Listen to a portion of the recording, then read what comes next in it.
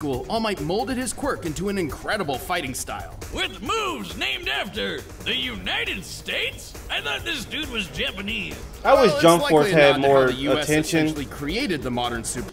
In my opinion, Jump Force was well done. I enjoyed the heck out of that game, even for characters I didn't know.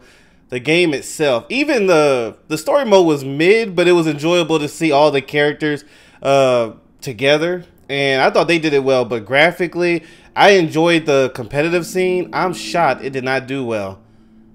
I am shocked. I'm not saying it was an EVO type fighting game. Um, but every day doesn't have to be like competitive in that sense. It could be in a fun way, and I thought it was a good game. So to hear when it got shut down the servers, I was like, dang. Like I went back to that game about a month or two ago just to see where it's at, and that's when I learned that the servers are down. You can't play online. You can play the story mode, but that's about it. But that was a underrated game in my opinion. superhero like Superman. America's got a sort of Wait, what about superhero Superman? monopoly.